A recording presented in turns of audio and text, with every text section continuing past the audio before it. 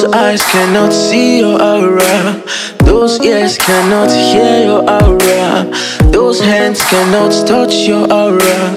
That nose cannot smell your aura. That tongue cannot taste your aura yet.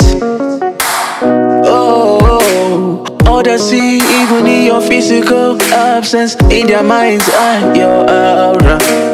Others feel in your lives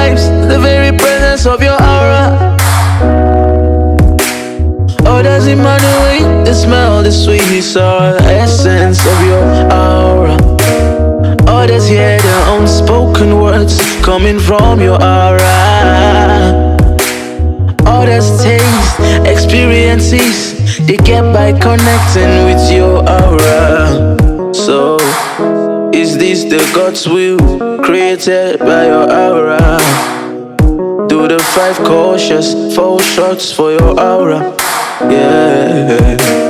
Have you ever wondered what creates your aura?